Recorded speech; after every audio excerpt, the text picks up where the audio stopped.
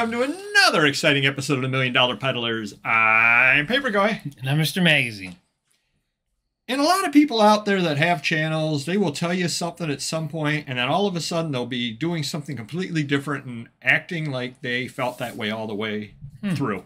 Okay. We're not that kind of channel. Okay. When we change our mind, we will tell you that we changed our mind and give you the reasons behind it. Mm-hmm. And I'm specifically talking about grading, grading comic books.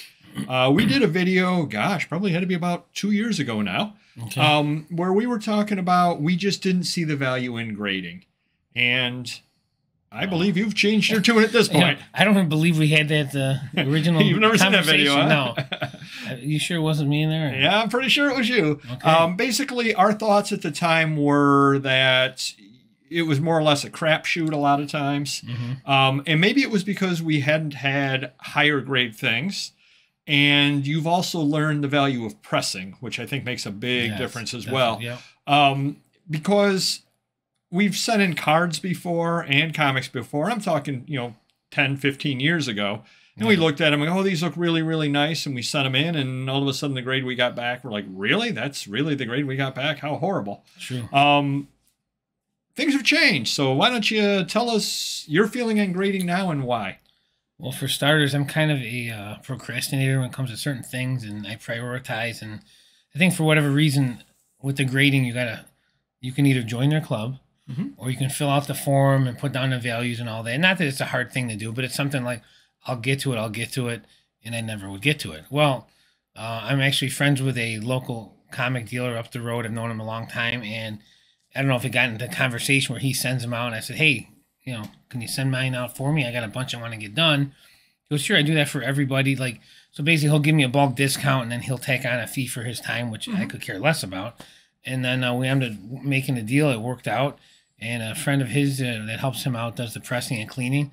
So, and once I started that, I got back great numbers, uh, made some good money, and I kept going. So basically, every month, I'm sending out 10, 20, 50, 100 comics or magazines every month and getting them back little by little.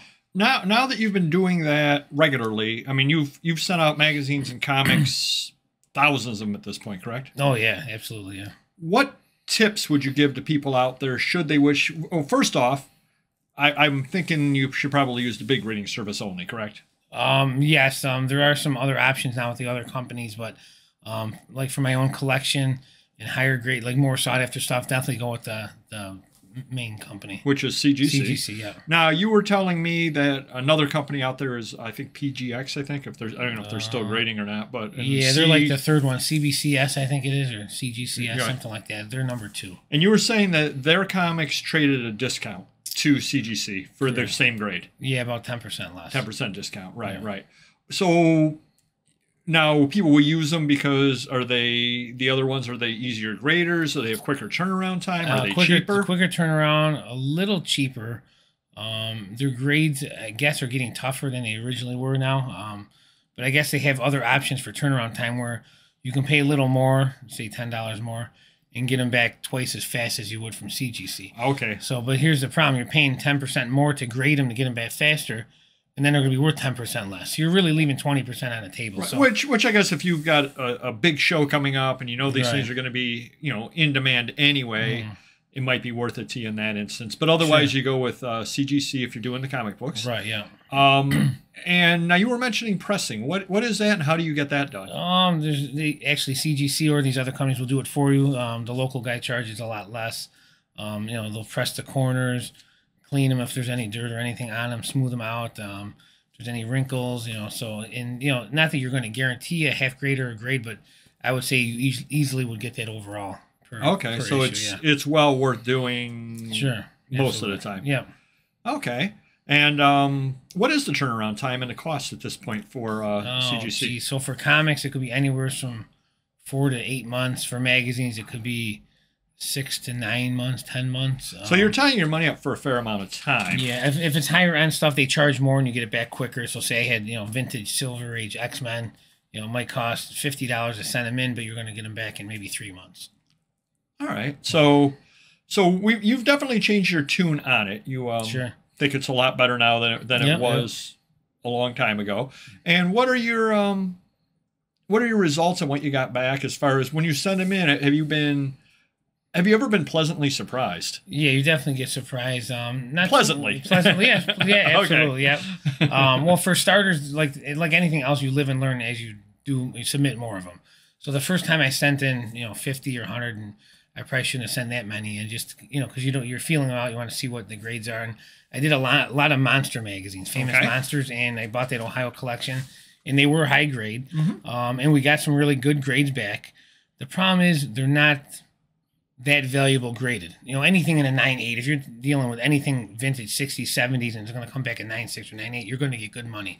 But just say 9, 9.2, which is still good for those that era, they're a little more common. So, you know, I made money obviously because I didn't pay much per book and then I got them graded, um, but not what I would thought I would be getting out of those. So what- what you're- do some research ahead of time on what you think they're going to come back as and what to expect maybe. Now, if you join the, correct me if I'm wrong, but if you join the CGC club, Mm-hmm. you have access to the population numbers. Yes, absolutely. So basically, what I'm hearing you say is if you are going to be sending books in, take a quick look, uh, do research a couple of different ways. Take a quick look to see how many have been graded, what grades they're coming back as, and then do the search on eBay to see what they're going for. correct. yeah. So if you've got a book out there that has thousands of books that are 94, 96, 98, and you've got it there and you're Yeah. saying, why am I sending this in? yeah. This is a fairly common book. Whereas if you've got a book that looks really good and you're looking at it going,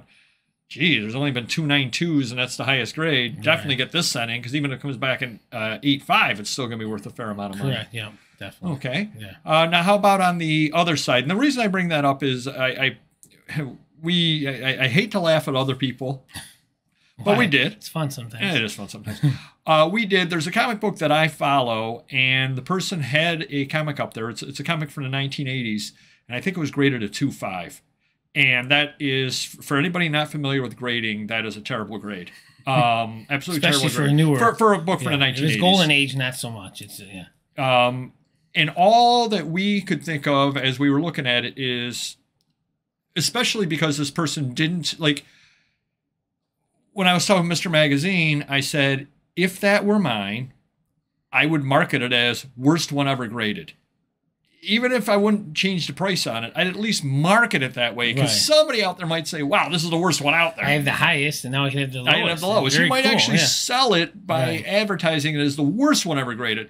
But obviously, he didn't because what he was pricing it at was less than the grading fees. yeah, so he didn't send it in to be funny. He didn't send it in for any other reason. He missed something on it, Yeah, obviously. So, what are the things that you can miss on things when you send them in to be graded?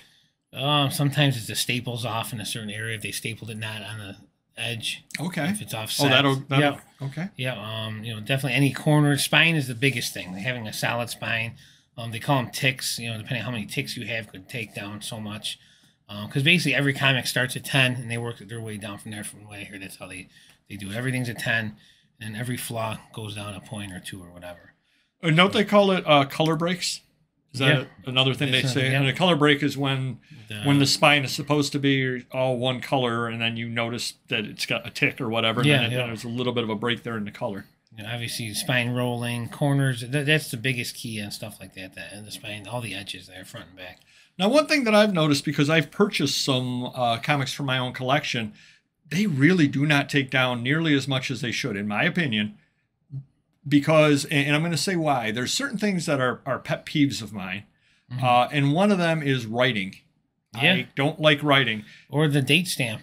They don't take much off. they don't take either. much off for date stamp and I've, I've picked up a couple of comics and i got them i'm like this has scribbling on the cover They- Yeah. they said it was this you know a 3-5 and it's got scribbling on the cover i you know and it was one of those i really didn't take a quick look i wanted the comic i just bought it real quick on ebay it was one of those um oh yeah they got one on and it seems like a Right. reasonable price it's a graded 3-5 and then i got it i'm like this is scribbling on the cover i wouldn't have bought it had i noticed that Right. Yeah. um so something like that isn't necessarily the kiss of death that you would think that it would be Right. No, true. Yeah. um yeah, do yeah, research their stuff, and you know if you're gonna buy graded stuff on eBay or wherever, do the close up of the scan so you know what you're getting to as well. What? Some don't- idiot, some well, so idiot, don't make that mistake. Some idiot didn't Yeah, do that. exactly. So I'm clarifying. Yes. Yeah, rub it in, why don't you? Um, yeah, so I, I, guess I wanted to put this, or we wanted to put this video out to let you know that if you, if you are watching our old videos, again, we were not fans of it. Uh, at this point, Mr. Magazine is a fan of grading. Um, let me ask you another quick question. Sure. Are there any comics, because that's what you, you primarily get, comics and magazines, yeah. that you absolutely should or have to get graded no matter what, in your opinion? I would say any key issues, origin issues. I think you know from the, the Silver Age or back. Yeah, absolutely, yeah, for sure. And then also, I would say Hulk 181, uh, yeah, definitely. Yeah, and, um, and, even Amazing Spider-Man 300. I mean, it's such a big difference, graded and ungraded. Even if they look similar condition, you're talking double or triple. Now, what about if you have an off condition one of that? I would still get any any. Yeah, it's just so much easier to sell it. Honestly, you know, it's worth the 30 40 50 dollar investment. I mean and going back, most of the stuff I sent in, I got pretty good deals on. Um, I can't think of any that I really lost money on. Oh, okay. You know, I made more money being graded. You know. The the other downside though is you did tie your money up for a fair amount of time. Correct. That yeah. is that is a negative side. Yeah. So I guess one of those deals, if you don't have a lot of capital and you pick up a big collection and you need to get money back, maybe don't send in everything that should be sent in to be graded out of it just because you've got to live, you got to have money right. for your next deal, but maybe pull the best two or three comics out of it and stick it aside and get those sent in to be graded. Now, one other thing, if you're doing it on your own, and I don't know if you know the answer to this or not, um, how many comics should you send in to be economically wise. In other words, if I get yeah. one, if I get a, a, Adventures of Big Boy number 267, it's probably not worth it for me to send that in right. by itself, correct? Yeah, uh, the rule's 25 because that's how they'll ship them back to you. So if, okay. you, if you submit them in 25, 50, 75, or 100, you're going to get, you know, one, two, three, four boxes back. And so you're maximizing your shipping, you know, um, discount, I guess, compared to getting five graded compared to 25 instead of getting not five, much difference instead of getting five graded five different times save right. them up and get 25 Correct. graded once right yeah. that'll save you some money on the sh- return shipping sure. if, if, you can of course then you also got the bigger nut up front to send it out right. but you know it's kind of a trade-off it'll save you some money in the long run yeah. so again we want to be different than a lot of other channels and i think we are in a lot of ways and one way is we can admit when we when we were wrong and when we've um, you know things change and this is certainly a case where it changes um, if you want to laugh, go search search out the old video when we talk about grading, um, and then see see how things have evolved since then. Um, you should sell the graded one with the writing, and then you can use it in your bolo. That is true. That is or true. Or why not to buy? Or until I send it out, and then the person goes, "How can this be graded this high? It's got writing on it." exactly. Did you watch our video? Did you hit the like button? All right. We will see you next video. Take care. Bye-bye.